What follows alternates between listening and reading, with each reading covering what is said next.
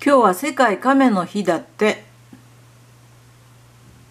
亀について知り、敬意を払い、亀の生存と繁栄のための人間の手助けをする日なんだって。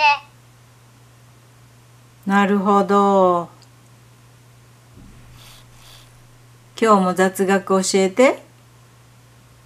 ラジャー。似ている言葉のお話するね。準備と用意のお話だよ。準備と用意って似ている言葉だから使い方が難しいよね。まず準備は前もって必要なものを揃えたり環境を整えるっていうように大体の計画を立てることだよ。次に用意は準備よりも細かく事前に必要なものを揃えておくことを表すんだって。大体か具体的かの違いってことだね。